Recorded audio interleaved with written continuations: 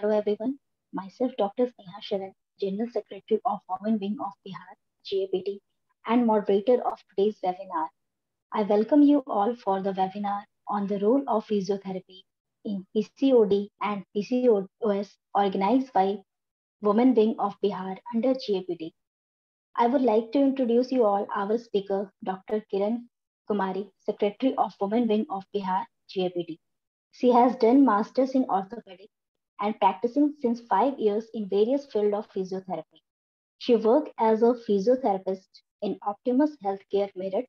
Then she worked as a consultant physiotherapist in NCR Institute of Medical Science, Meerut. At present, she is working as consultant physiotherapist in Sadar Hospital, Ara. I would like to introduce our organizing committee, Dr. Sita Singh, National President, Women's Wing, GAPT, Dr. Akanksha, National Vice President, Women's Wing, GAPT. Dr. Akriti Kumari, Joint Secretary, Women Wing of Bihar, GAPT. Dr. Alka Kumari, Treasurer, Women Wing of Bihar, GAPT. And Dr. Anjana Kumari, Executive Member of Women Wing of Bihar, GAPT. I request ma'am to please start the session. Participants are requested to please keep your mic on mute to avoid technical issue. Any doubts and query will be taken up at the end of the webinar. Thank you. Thank you, Dr. Sneha, for the very warm welcome. And now we will start with the session. Uh, Dr. Sneha, is the screen visible? Yes, ma'am. Screen is visible. Okay, thank you.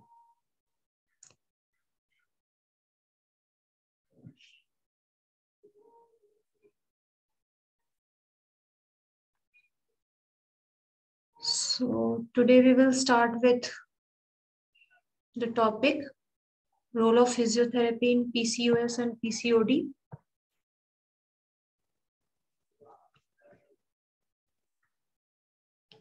So we will start with the introduction. PCOS is, defined, uh, is described first in 1935 by Stein and Leventhal as a syndrome.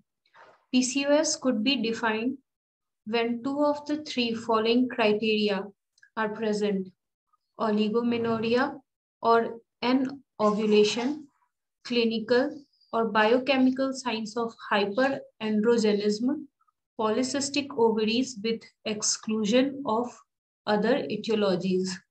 So this criteria is known as Rotterdam diagnostic criteria. If any two of the following three criteria is present, that is polycystic ovary, anovulation or excessive androgen, then it is defined as PCOS or PCOD, polycystic ovary syndrome or polycystic ovarian disease. So polycystic ovarian syndrome or polycystic ovarian disease is a hormonal disorder that affect women in their reproductive age from adolescent to postmenopausal between 18 and 44 years of age.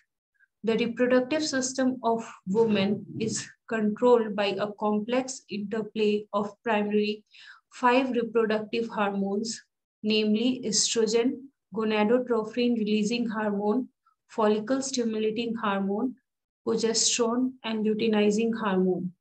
An imbalance within these hormones leads to a hormonal disorder called PCOS or PCOD among women of reproductive age. So any imbalance between these five reproductive hormones will lead to PCOS or PCOD. So this is a figure of uh, reproductive organ. This is vagina, this is cervix, this is uterus, this is fallopian tube, and these are the ovaries. So in normal ovary, we will see developing follicles, mature corpus luteum, and which will discharge a developed ovum. And in ovary, with polycyst, there is no developing follicles or corpus luteum. There will be formation of cyst, multiple cyst.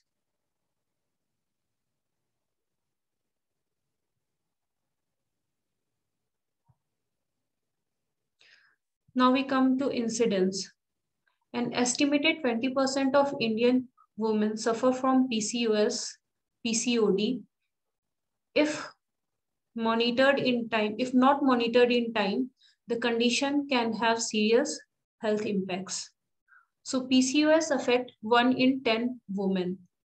10 to 15% women estimated to have polycystic ovarian syndrome. 50% women with PCOS go undiagnosed. 50% women with PCOS will develop type 2 diabetes before age 40. And if left undiagnosed or untreated, then three times increased risk in women with PCOS of developing endometrial cancer.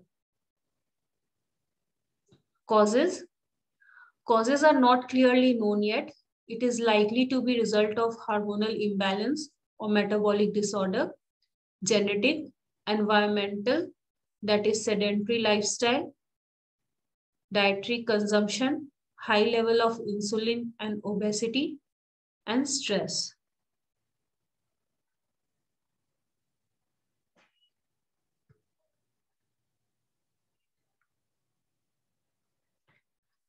Now we come to pathophysiology. So first we will understand the normal female hypothalamic pituitary gonadal axons.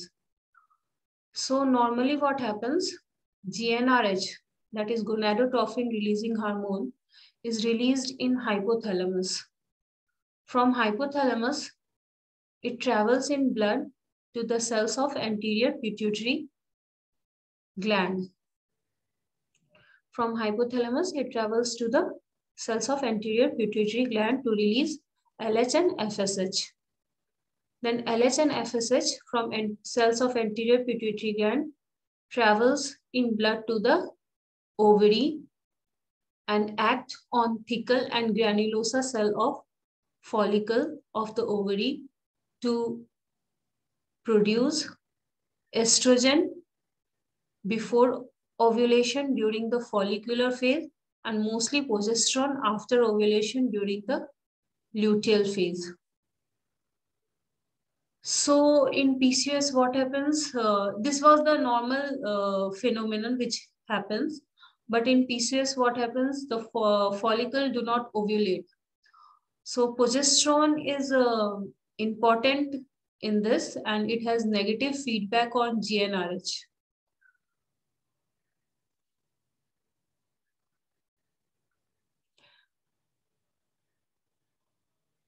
So in PCOS, what happens? GnRH is increased. Pulse frequency of GnRH is increased. And this is because of low progesterone level after ovulation during luteal phase. And this is because of, uh, because follicle is not ovulated. And when follicle is not ovulated, there is no corpus luteum created and when no corpus luteum is created, then there is no search for progesterone. So what happens? High progesterone, high progesterone will, uh, high progesterone level, uh, sorry, low progesterone level will uh, increase the pulse frequency of GnRH and uh, increased GnRH will disturb the ratio of LH and FSH. So ratio of LH will be more than FSH. So FSH is needed to um, make the uh, follicle ovulate. So if uh, in PCOS, what is uh, in PCOS, LHS is more, LH is more than FSH. So um, follicle is not follicle do not ovulate. So if follicle do not ovulate, then uh, it forms cyst. So formation of multiple cyst is due to past failed ovulation. And here you can see PCOS. So LS secreting cells uh, sensitizes to high GnRH pulse frequency. And so uh, what happens? Uh, there is formation of multiple cysts and increased LS stimulates androgen synthesis in thecal cells. So increased LH will produce more androgen and this too much androgen synthesis will further leads to other symptoms of PCOS. Now, insulin is also, uh, insulin also play an important role in PCOS. It is released from pancreas. Insulin is released from pancreas and uh, it can stimulate the steroidogenesis in the thecal cell of the ovary to increase androgen production. And uh, insulin also increases steroidogenesis in adrenal cortex to further increase the androgen synthesis. So insulin uh, increases the uh, steroidogenesis in these cells, which further increases the production of uh, androgen synthesis. And this uh, hormonal imbalance will even further, uh, mm, uh, even more complicate the ovulation and further lead to infertility and other symptoms of PCOS. And finally, androgen, uh, more androgen synthesis, uh, more androgen formation or more androgen synthesis will decrease the uh, sensitivity to uh, sensitivity to insulin, which creates uh, uh, which creates environment of insulin resistance. So when there is a insulin resistance, so what happens when there is insulin resistance? So pancreas will produce more insulin. So when more insulin is produced, this uh, increased insulin will create uh, uh, this uh, insulin, uh, increased insulin, this added insulin causes even more synthesis of uh, more synthesis, synthesis of androgen or more stimulation, more production of androgen.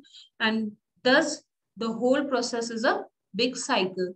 So when there is more production of androgen, there is a condition of hyperandrogenism, which will further lead to other symptoms of PCOS, that is acne, hirsutism, and ovulation, polycystic ovaries, insulin resistance, acanthosis nigricans, alopecia.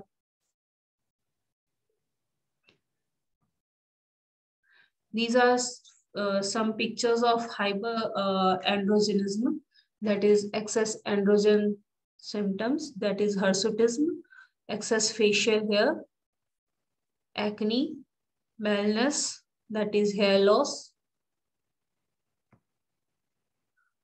acanthosis nigricans, thick pigmented skin over nape of neck, inner thigh, and axilla due to insulin resistance, these are some symptoms of PCOS and PCOD. Weight gain, anxiety, depression, headache, thinning hair, scalp hair loss, acne, irregular, painful periods, polycystic ovaries, mood swings, hirsutism, trouble sleeping, thickening or dark skin patches, infertility, pelvic pain, brain fog, skin tags, fatigue, tired, sexual dysfunction. So PCOS or PCOD is not a small period disease or a certain period disease. It is a life journey. It starts from adolescence and if left untreated, it is it uh, continues till post-menopausal. Matlab, it's uh, effect is still post-menopausal if left untreated. So in adolescence, what we will see, uh, insulin resistance, obesity, hyperandrogenism, oligomenorrhea, and ovulation. In premenopause phase, infertility, hyperandrogenism, obesity, prediabetes, or type 2 diabetes mellitus, hypertension, dyslipidemia, metabolic syndrome, obstructive sleep apnea, depression, anxiety, endometrial, uh, endometrial cancer. Post-menopause phase, cardiovascular disease, obstructive sleep apnea, endometrial cancer, depression, anxiety. Long-term risks are type 2 diabetes, cardiovascular disease, hypertension, cholesterol abnormalities, and endometrial cancer. Now we come to diagnosis. Now medical history. In medical history, we have to take the history of menstrual pattern, whether the uh, bleeding is uh, regular, irregular, heavy, less. So we have to take all the detail of menstrual pattern. Changes in weight towards obesity, hirsutism, acne, fertility, family history of hormone changes including diabetes. So family history also plays an important role. If family, there is a family history, then uh, there are chances of having uh, PCOS or PCOD. Now physical examination. In physical examination, we have to check thyroid, skin, hair, breast, abnormal, obesity, blood pressure, BMI, body mass index, and pelvic examination for enlarged ovaries. Now ultrasound examination. Pelvic ultrasound may show enlarged ovaries with multiple small cysts. 12 or more small follicles should be seen in any ovary on ultrasound examination. The follicle may be oriented in a periphery giving the appearance of a string of pearls. So in this figure, there is ultrasound examination. This is the normal ovary, image of normal ovary, ultrasound of a normal ovary. And this is the image or ultrasound of a ovary with polycystic um, polycystic ovary. This is ultrasound of polycystic ovary where you can see multiple ovaries, um, multiple cysts and this is all situated in the periphery like a string of pearl. So there is multiple cysts, formation of multiple cysts. So this is the ultrasound of polycystic ovary and this is ultrasound of normal ovary. Laboratory examination, what we will find in laboratory examination, sex hormone binding globulin will be decreased, free testosterone will be increased, androgen increased, LH increased, FSH decreased, LH FSH ratio increased, prolactin increased, TSH hyper, hypothyroidism we have to uh, take, uh, we have to investigate and fasting blood glucose. Now we come to treatment. Lifestyle modification. Lifestyle modification is a first line treatment and uh, it plays an important role. So in lifestyle modification, there is diet modification, weight loss, exercise, psychosocial support, and cessation of smoking. In medical, there is oral, oral contraceptive pills, metformin, and spironolactone. Metformin for diabetes and spironolactone for hirsutism. In surgical, there is ovarian wedge resection, laparoscopic ovarian surgery.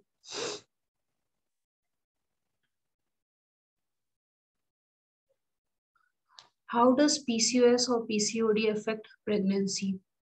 So PCOS or PCOD can cause problems during pregnancy for mother and for baby. Women with PCOS have higher rates of miscarriage, gestational diabetes, preeclampsia, and cesarean section. Baby also have a, a higher risk of being heavy, that is macrosomia, and spending more time in NICU.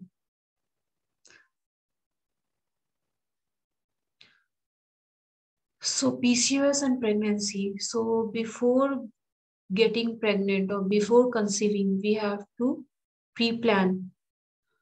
We have to do pre-planning. So healthy weight management before conceiving, maintaining the hormones in level, reaching healthy blood sugar level by combination, by combination of healthy eating habits, regular physical activity, weight loss and medication, regular doctor checkups and visits, meet your physiotherapist for a structured exercise program.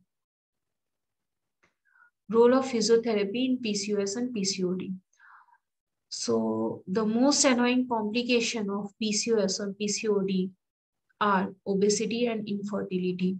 Physiotherapy is proved to be a best therapeutic and supportive management in PCOS or PCOD patients in reducing infertility and other symptoms.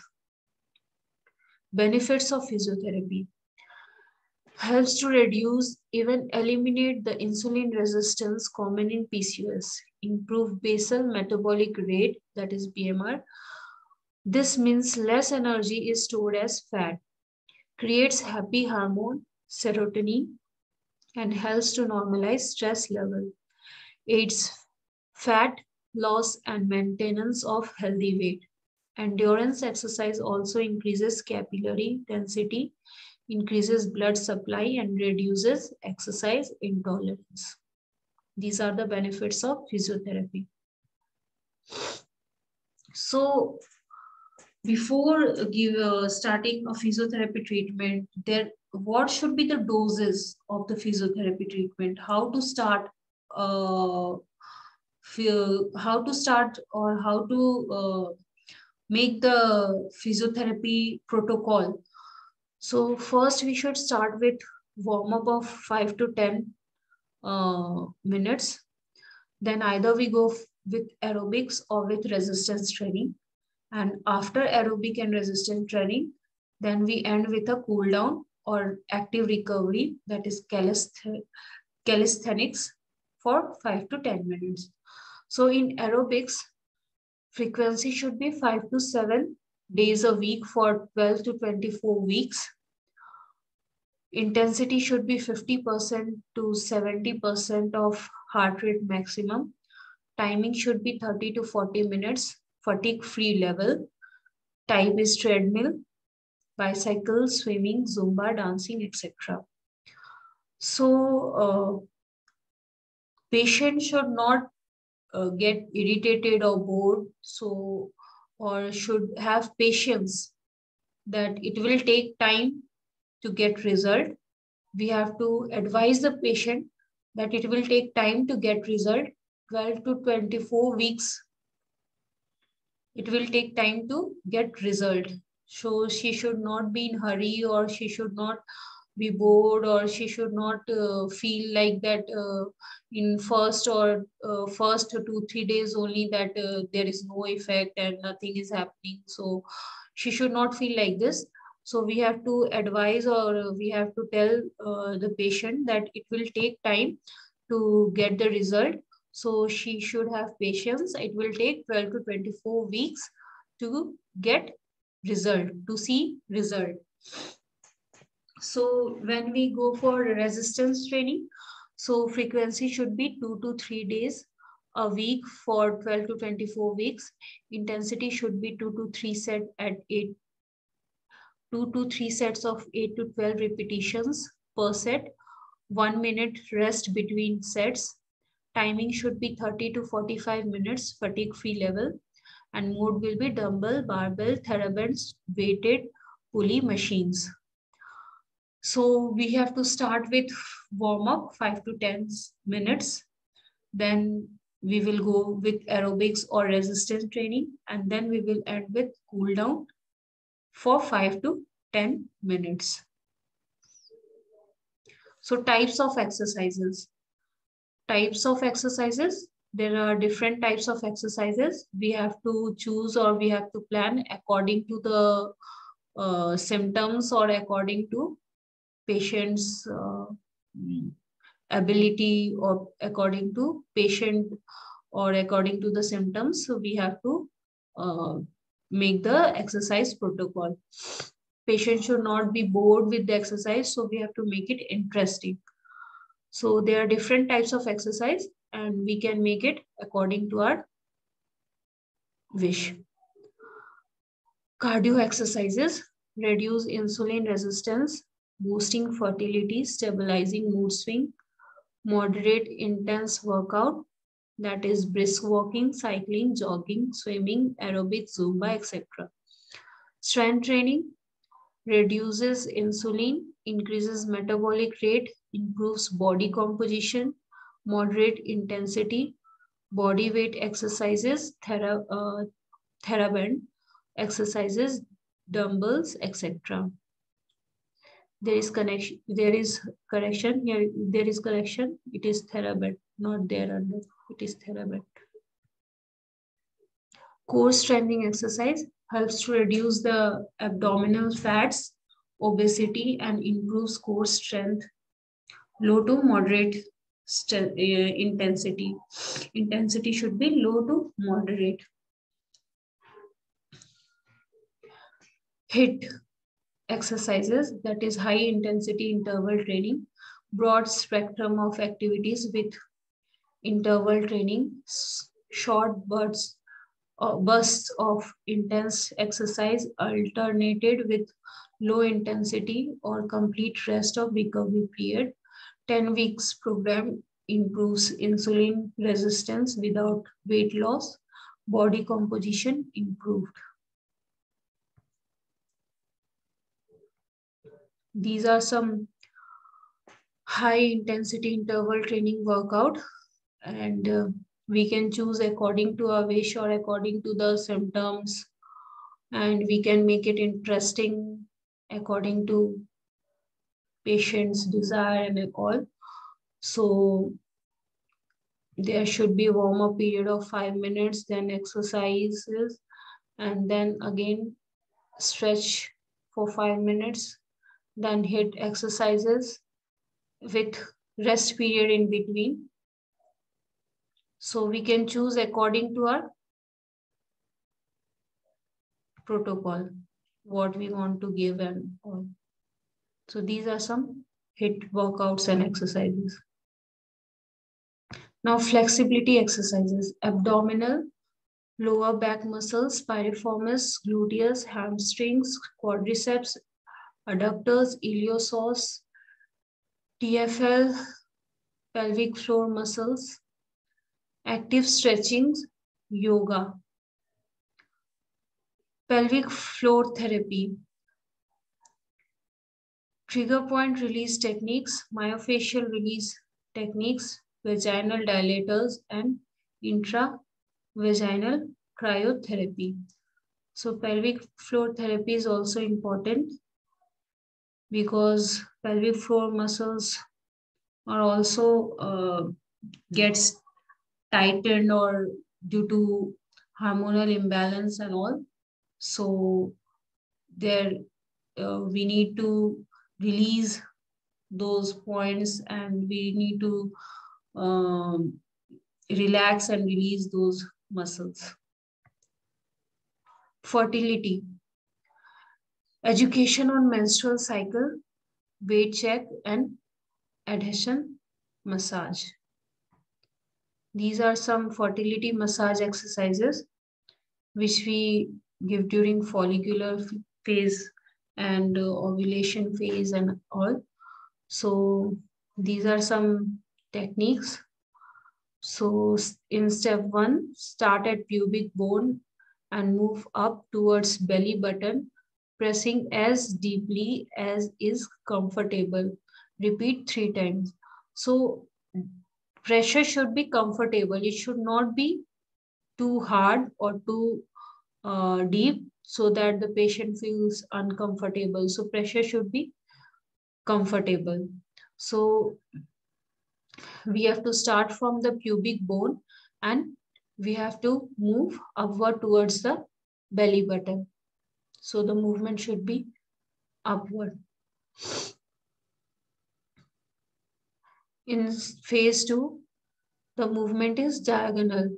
So move fingers to right side, one little finger on pubic bone and other little finger on hip bone. One finger, little finger is on pubic bone and other little finger is on hip bone. And pull diagonally into pelvic bowl as deeply as comfortable.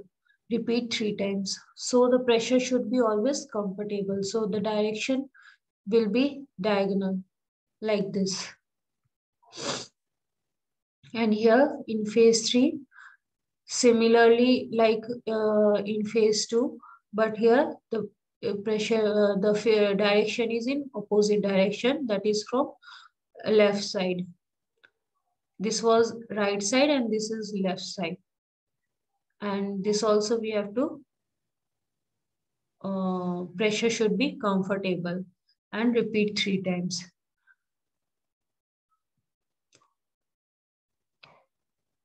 Repeat steps one to three, that is step one, step two, step three, nine more times for a total of 30 strokes for each step. So there should be 30 strokes of each step. Three times like this, three times like this, three times like this, like this. We have to do it for nine times. Each steps nine times. So there should be a 30 strokes. And this uh, fertility massage we do during ovulatory phase gently make circles over your ovaries using gentle pressure for two minutes. This should be easy and gentle. So the pressure should be easy and gentle and the pressure is uh, uh, uh, given on the ovaries for two minutes on both sides. And this fertility massage is given during menstrual phase. Make fist and bounce on the sacrum for two minutes. It should feel good. We have to make a fist and bounce on the sacrum for two minutes. Again, the pressure should be comfortable. Stress management, breathing exercise, counseling, relaxation techniques, meditation, mind body exercises, exercises give yoga, mat pilates, ball pilates, etc. Can help not only burn calories but also reduce stress level that worsen PCOD symptoms. Yoga. Yoga specially helps with hormonal imbalance and is very effective in controlling mood swings. So these are some yoga postures or these are some yoga poses which will help in PCOS or PCOD. This is Titlias, uh, this is Titliasan. Naukasana or boat pose. It is very useful for relieving nervous tension and bring a sense of deep relaxation. Benefits of Dhanur Asan or cobra pose, strengthen the spine, tone the buttock, stimulates abdominal organ, help relieve stress and fatigue, therapeutic for asthma patient, benefits the male and female reproductive system, help regulate menstrual cycle, boost blood circulation. Chakki Chalanasan, Dhanurasan, bow pose, Viparita Salabhasan, stretches the muscles of the chest, shoulder, arm, leg, abdomen, and the lower back. It is also good for improving blood circulation. So these are these were some yoga pose or yoga. Uh, these were some yoga pose which were helpful in PCOS or PCOD. These are some fertility yoga poses. Cobra, reclining bound angle pose, leg up the wall, standing forward bend pose. These are fertility yoga poses. So now we come to conclusion. PCOS, PCOD is a health hazard to a human and it may bring about serious consequences when ignored or not treated. PCOS or PCOD come amongst the list of diseases that need to be hunted, not only treated. With awareness, we can easily fight this disease. Thank you.